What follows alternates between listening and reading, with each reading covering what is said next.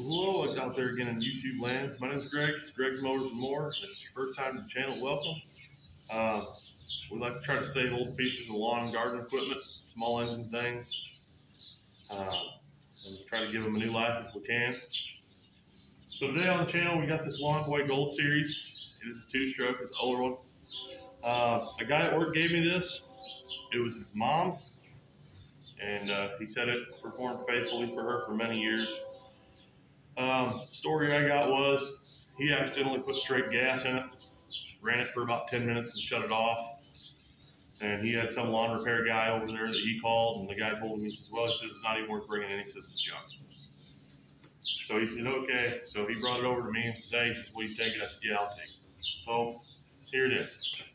Um, I believe you when he says he put straight gas in it. I believe him that he ran it for 10 minutes. Um, I haven't touched it. I mean, as you can see, it is absolutely filthy. It's been sitting out here for, oh, I don't know, a year, year and a half, something like that. I don't know how long it was before that that he ran it. We're just going to treat it like it's been sitting for a while. And uh, first thing we're going to do is see what's in the tank.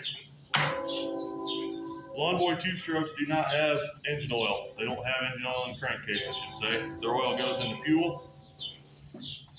And uh, don't mix it, well, this actually has some blue in it, so there was a little oil there. That's a good sign. But uh, run them on straight gas, they don't last too long. It scores up the cylinder walls, ruins the pistons. But uh, something tells me this guy's probably going to be all right. While I can tell that this is a watered down mix, it does still have some oil in it. So that's a very good thing. It doesn't smell horrible either. It's definitely a plus. We're going to try to get as much of this much of this fuel out as we can. Another advantage to a two-stroke engine is there's a lot lighter usually. And they make more power. Yeah, yeah. That's probably about all the fuel we're going to get out of it. Okay. Alright. Let me uh, set this aside. I'll put it in a container later for bonfire. I know this can says 50 to 1. That's not what's in there. I mixed this up extra heavy. It's actually a little bit heavier than 32. They call 32 and a half to 1 on these Lawn Boys. And it's heavier than that. So, oh, come on now. These dang childproof lids. So we're to give her a little bit of that.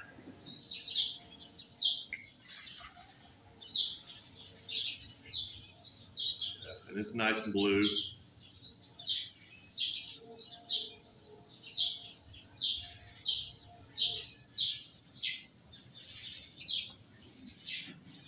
Should be plenty for what we're doing.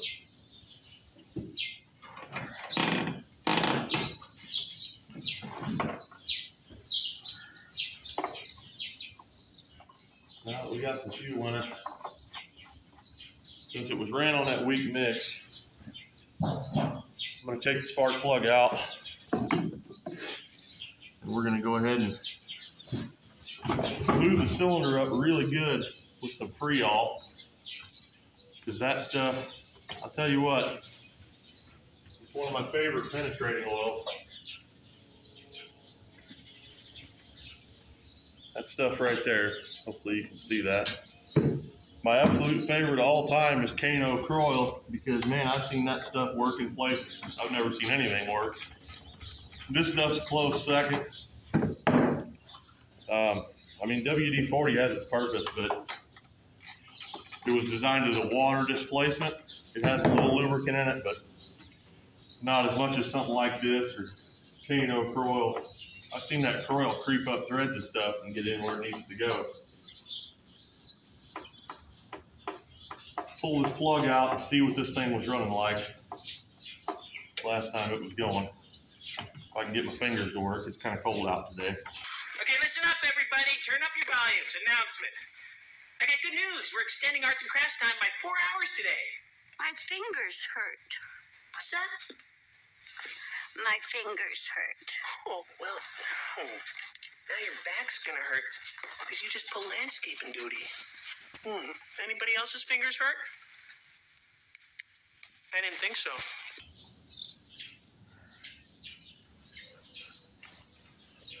Not too bad. She's got some carbon on her, but for a two-stroke, that that's kind of what happens. I mean, they burn that oil and carbon's on the plug, and every once in a while, that exhaust screen's got to be cleaned out. Go ahead and tip her up a little bit here. And we're just going to go ahead and shoot a whole bunch of that right there in that cylinder. That's a good amount right there. And then put the tip a little bit on the side like that. Gonna slowly, I'm gonna grab the blade and do it. Oh yeah, she was tight. Yes, you are tight like a tiger. Gonna slowly roll it over. Just give her a little bit more.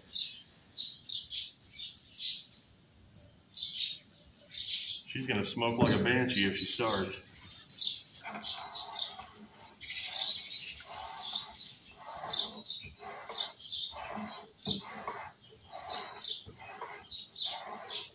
She's starting to come around. I've had these old lawn boys totally stuck before from sitting, and they still take back off and run. Boy, there's a lot of grass under that deck. Somebody didn't take care of that very good. Good thing it's not metal, they'll never rust.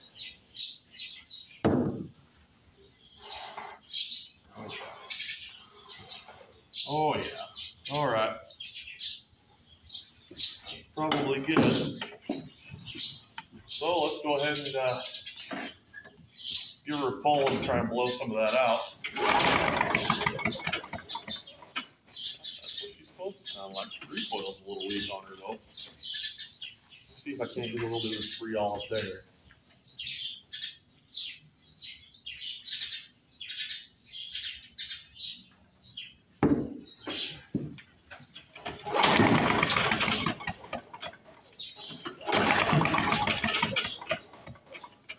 A little weak on her.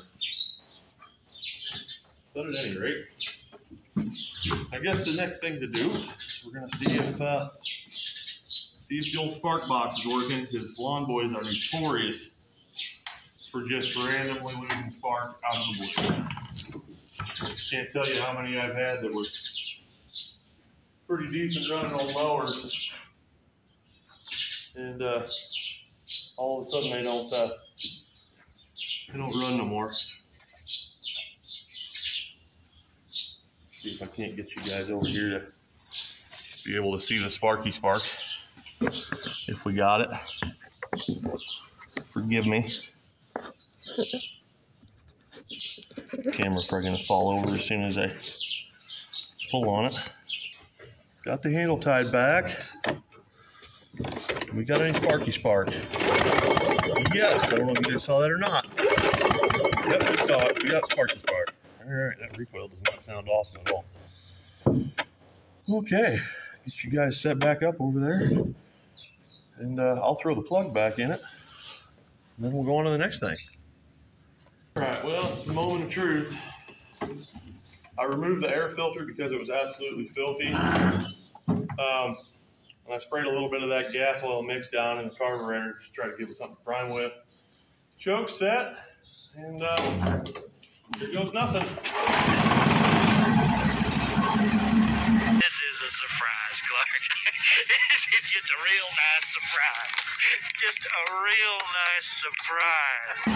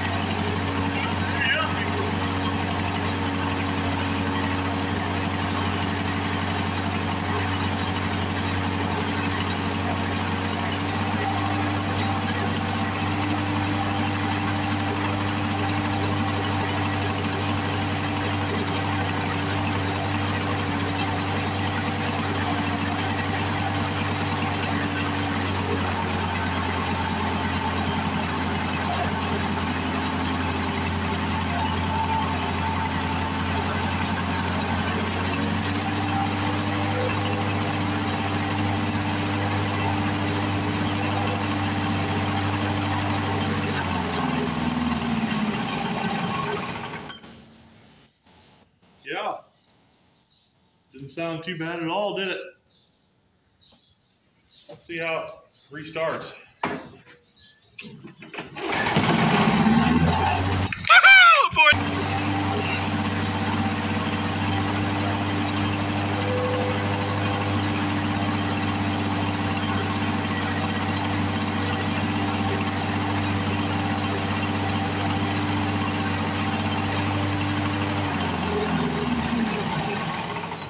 Yep, I think she's gonna be just fine. She's gonna be just fine. I'm gonna have to clean the air filter for it, re-oil it, put it back together. Um, for right now, I think I just want to get an idea of how the top side is gonna clean up. I've been using this spray away glass cleaner on things. Seems to work all right. I don't know about today when it's freezing out and about to get some snow though. But we'll we'll see here in a minute what she does.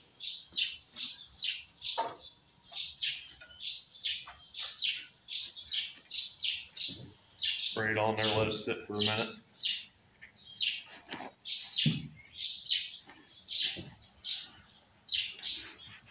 Yeah, somebody, some guy that works on mowers told him it was junk, not worth fixing. Didn't sound like junk. First wash all the car, then wax. Wax. But what do I have to watch all that- the car? Remember, dear, no question. Yeah, but I, Right. Wax on, right hand. Wax off, left hand. Wax on, wax off. Breathe in through nose, out the mouth. Wax on, wax off. junk to me. Sounds like it's probably got some good years of service left in it as long as it's taken care of. Keep good fuel and oil in it. I mean, I, I can't deny that it probably hurt the compression a little bit. But, I mean, it still has some oil in the fuel. Usually on two strokes, once that piston gets scored up, they're done. And, I mean, they get a low compression, they don't run right, or they don't run at all. And this one, to me, sounded pretty darn healthy. Took right off. I mean, it's like 28 degrees out today. Fired up first full.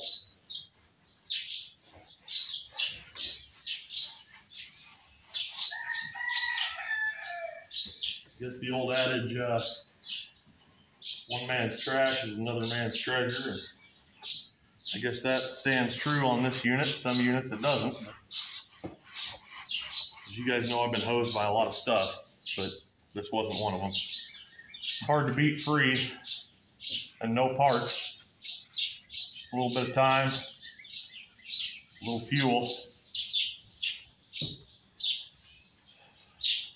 I really am fond of these old lawn boys, though they don't get the they don't get the credit they deserve from most folks. You can mow a hillside with these or mow pasture, thick brush. Not trees or anything like that, obviously, but I mean, they're, they're a dang powerhouse, boy. They're, you don't got to worry about rod knocking them, having them on a hillside either, like you do with a with a four cycle. But I don't know. I'm, I'm kind of fond of two strokes in general, the old Detroits and semis stuff like that. I've messed around with them for years.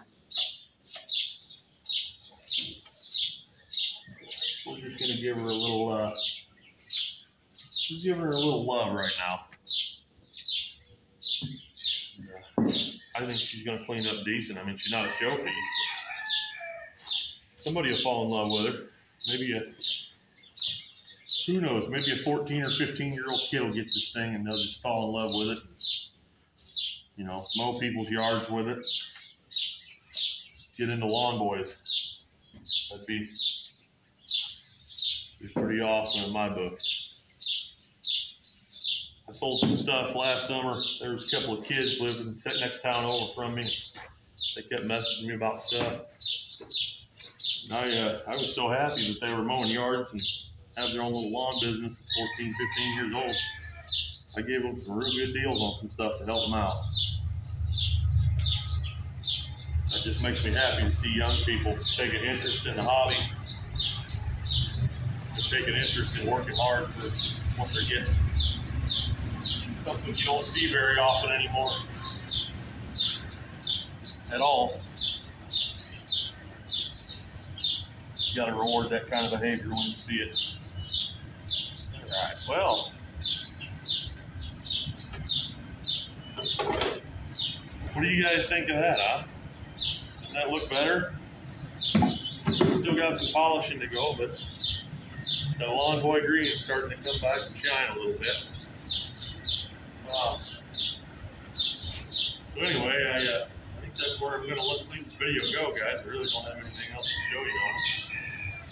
But I do appreciate you watching, listening to me ramble, putting up with my shortcomings. Uh, have a great day. God bless you guys.